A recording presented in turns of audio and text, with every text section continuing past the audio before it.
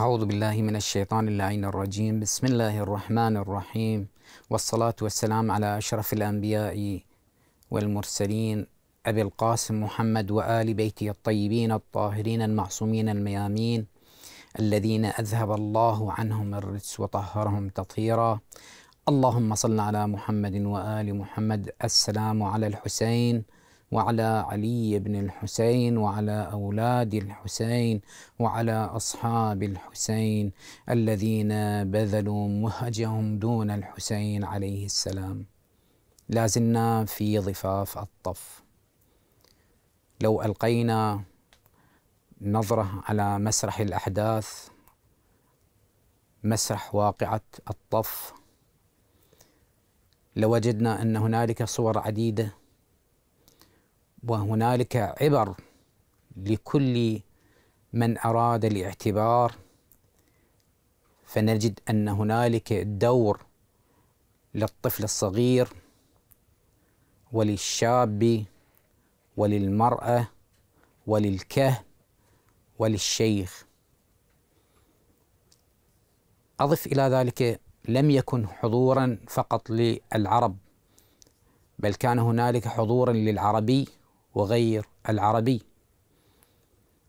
اليوم نتكلم عن أصحاب الحسين عليه السلام الذين عدوا من أصحاب رسول الله صلى الله عليه وآله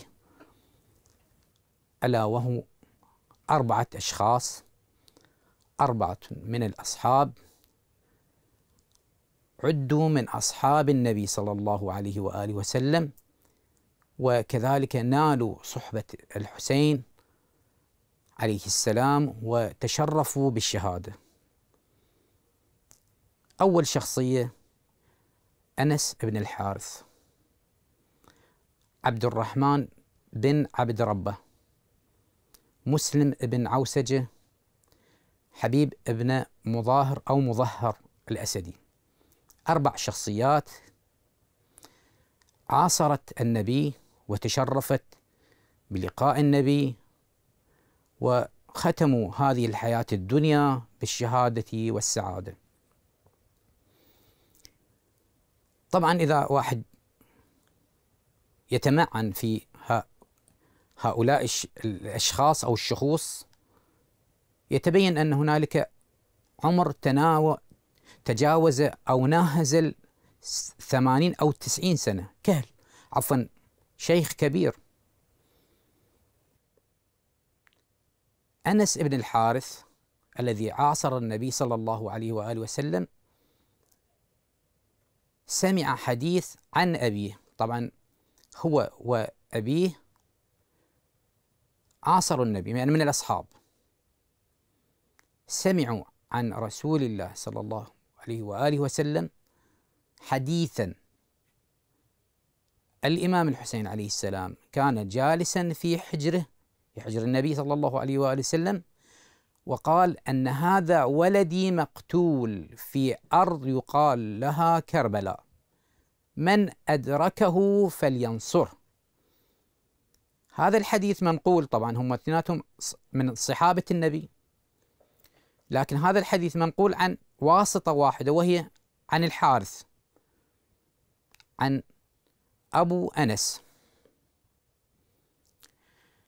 لا نريد بالكلام يعني أنا أضيف معلومة أنه لا نريد بالكلام عندما أقول أن من أصحاب الحسين عليه السلام هنالك هم من ناصروا من صاحبوا أو من أصحاب النبي. لا أريد أن أقول أن آه، يضفي هذا شرفا للثورة الحسينية.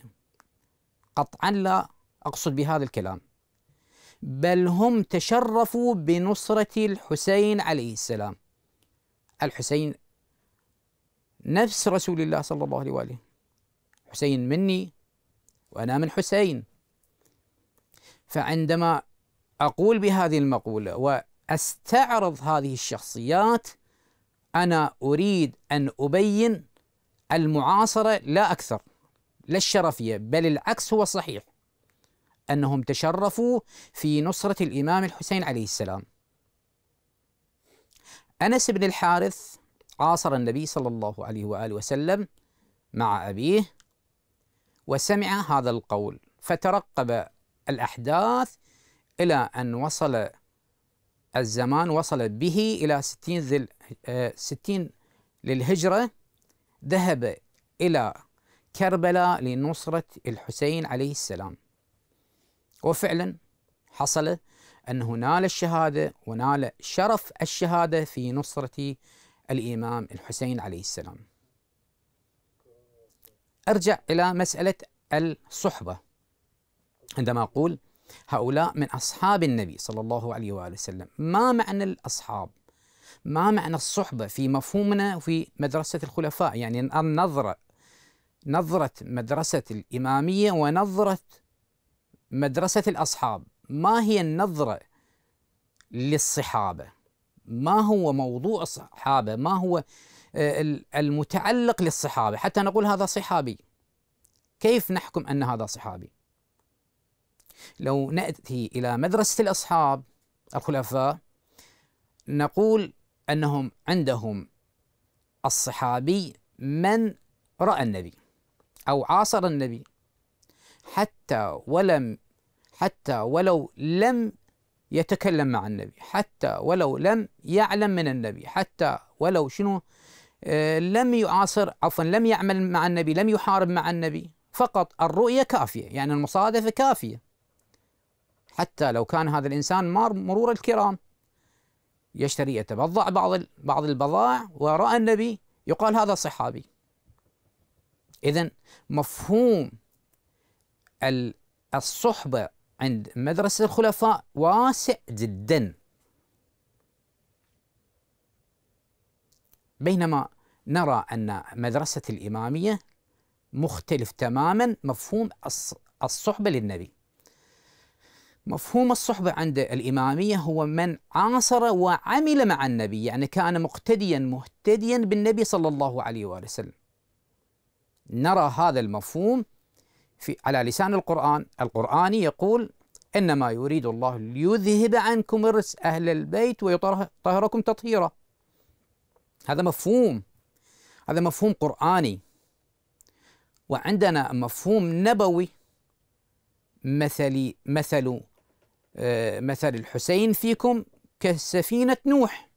هذا مثل يريد النبي صلى الله عليه وآله وسلم أن يبين من خلال حديثه أن هذا الصحبة متمثلة بهذا المعنى.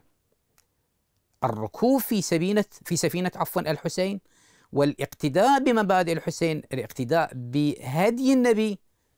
عندما أقول الحسين باعتبار أنه نفس الرسول صلى الله عليه وآله وسلم. فمفهوم الصحابة.